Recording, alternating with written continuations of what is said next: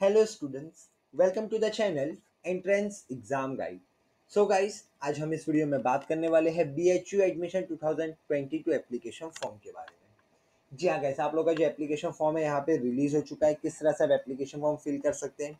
क्या step by step procedure है? Official link कहाँ से मिलेगी? हर एक चीज़ डिटेल में डिस्कस करेंगे आज इस वीडियो में। सिंपली क्या करना है? डिस्क्रिप्शन में एक लिंक है, उस लिंक पे क्लिक करना इस तरह का इंटरफेस ओपन हो जाएगा।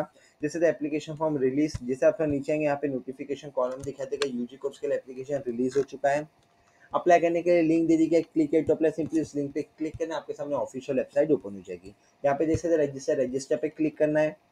जैसे रजिस्टर पे क्लिक करेंगे आपके सामने इंस्ट्रक्शंस एंड प्रोसीजर्स ओपन हो जाएँगे, यहाँ से इन्फॉर्मेशन बुलेटिन भी आप डाउनलोड कर सकते हो।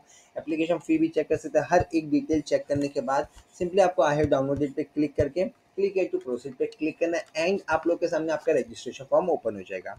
यहाँ पे आपको सारी डिटेल्स फिल कर देनी होगी लाइक आपका नाम हो गया, आपके फादर पिताजी का नाम हो गया नेक्स्ट गाइज़ आपके मदर माता जी का नाम हो गया। फिर आपके गार्जियन का नेम आपका यहाँ पे जो डेट ऑफ़ बर्थ एंटर कर देना है, आपका जेंडर सेलेक्ट करना है नेशनलिटी सारी डिटेल्स आपका एंटर कर देनी है। उसके बाद कंप्लीट एड्रेस एंटर करना होगा email address mobile number enter करना है। यहाँ पे फिर अगर आपका present address permanent address same है तो सिंपली सेम है सबाव पे क्लिक करना, अपने आप एड्रेस नीचे पूरा आ जाएगा। फिर यहाँ पे पासवर्ड सेलेक्ट करना होगा सिक्योरिटी क्वेश्चन सेलेक्ट करना है। यहाँ पे कैप्चा फिल करना है और सबमिट पे क्लिक कर देना होगा।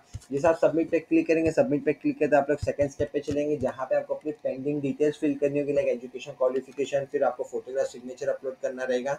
और लास्ट में एप्लीकेशन फ़ी पे करना है, आपका रजिस्ट्रेशन कंप्लीट हो जाएगा। इनकेस कोई प्रॉब्लम फेस होता है, कोई भी इशू तो आप डायरेक्टली कमेंट सेक्शन में बता सकते हैं। हम ज़रूर आपकी मदद करने की पूरी पूरी कोशिश करेंगे। Thank you friends